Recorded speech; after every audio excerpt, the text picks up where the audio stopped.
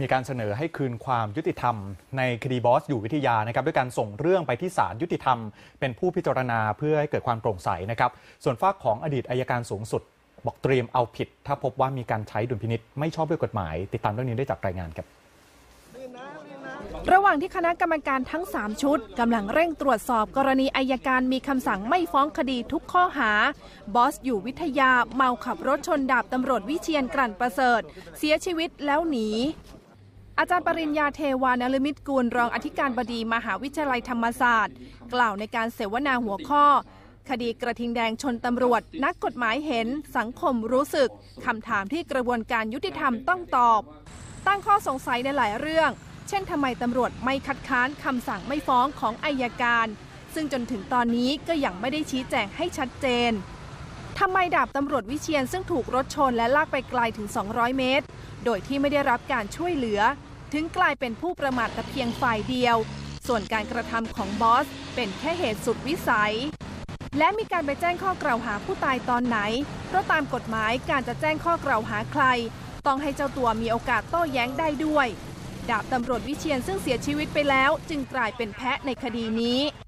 อีกคำถามสำคัญทำไมอายการซึ่งเคยมีคำสั่งฟ้องในคดีนี้ ถึงกลับคำสั่งเดิมมาเป็นสั่งไม่ฟ้อง พียงเพราะเชื่อพยานสองคนที่เพิ่งปรากฏตัวเมื่อปี 62 อ้างอยู่ในที่เกิดเหตุ บอสไม่ได้ขับรถเร็วเกิน 60 กิโลเมตรต่อชั่วโมง พยานบุคคลเพียงหนึ่งคนสองคนนี่นะครับ มันมันต้องตรวจสอบกันเยอะ ถ้าถึงขนาดจะไปหักล้างนะครับ พยานหลักฐานทั้งหลายที่สอบสวนกันมาเจ็ดปีได้เนี่ยมันต้องมันต้องเรียกว่าชัดเจนหนักแน่นนะครับถ้าความจริงเรื่องนี้เป็นเรื่องใหญ่ขนาดนี้ ผมถ้า ถ้าเป็นพวกเรานะครับ เราคงต้องมาแถลงต่อสาธารณชน ให้ทราบว่าที่ผ่านมาเราเข้าใจผิดนะครับ ที่คิดว่าคุณวรยุทธ์เนี่ยชนแล้วโดยประมาทไม่ใช่เป็นสุดวิสัยนี่คืองานของคนที่เขาเห็นเหตุการณ์แล้วมาเล่าให้ฟังจนสังคมที่สงสัยไอ้แบบนี้ก็โอเค ก็สั่งไม่ฟ้อง แต่กระบวนการนี้มันไม่มีเลย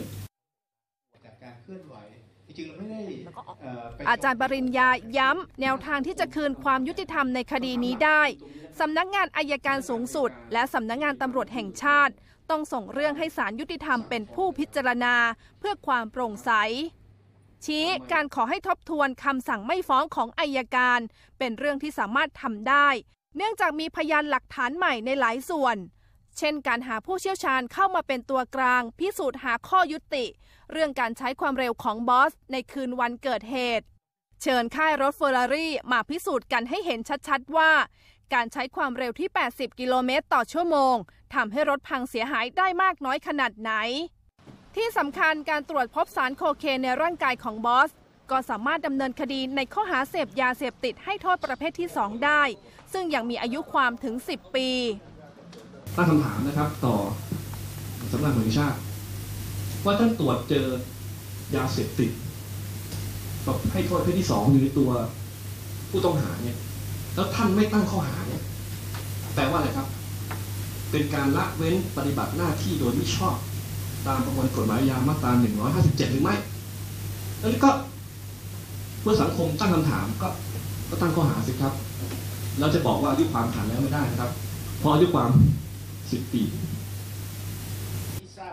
ขณะที่อดีตอายการสูงสุด ในฐานะประธานคณะกรรมการอายการบอกว่า มีความเป็นไปได้ที่อายการสูงสุด จะไม่ทราบเรื่องที่นายเนตรนาคสุข รองอายการสูงสุด มีคำสั่งไม่ฟ้องในคดีบอสอยู่วิทยา เพราะตามระเบียบแล้วเป็นอำนาจของรองอายการสูงสุด ไม่ได้กำหนดว่าจะต้องรายงานให้อายการสูงสุดทราบ แต่เมื่อมีคำสั่งแล้วจะต้องส่งเรื่องไปให้สำนักงานตำรวจแห่งชาติพิจารณา เพื่อเป็นการถ่วงดุลอำนาจ ทั้งนี้ในคดีอาญาจะให้น้ำหนักกับหลักฐานทางนิติวิทยาศาสตร์เป็นอันดับแรก แต่ถ้าตรวจสอบแล้วข้อมูลไม่ตรงกับกองพิสูจน์หลักฐาน ก็ต้องไปให้น้ำหนักกับพยานบุคคล ขอให้ประชาชนอดใจรอ ฟังการชี้แจงจากคณะกรรมการชุดที่อายการสูงสุดแต่งตั้ง หากพบว่าเป็นการใช้ดุลพินิษออกคำสั่งไม่ฟ้องที่ไม่ชอบด้วยกฎหมาย ก็สามารถเอาผิดได้เช่นกัน ถ้าดุลพินิษ เป็นโดยชอบ ก็ไม่ผิด แต่ถ้าดุลพินิษไม่ชอบขึ้นมานะครับ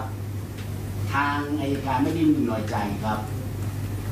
อำนาจหน้าที่ของกอมีอำนาจหน้าที่จะพิจารณาในการลงโทษได้อยู่แล้ว ขอรอไปอีกนิดหนึ่ง ในวงเสวนาครั้งนี้ยังมีการร้องขอให้ศาลพิจารณา อย่าเพิ่งถอนหมายจับบอสอยู่วิทยา เพราะยังอยู่ระหว่างการตรวจสอบจากคณะกรรมการทั้ง 3 ชุด และยังมีข้อกังขาอีกมากมาย ที่ต้องเร่งพิสูจน์ให้สาธารณชน คลายความสงสัย สิริพรกิจประกอบสำนักข่าวไทย อสมท รายงาน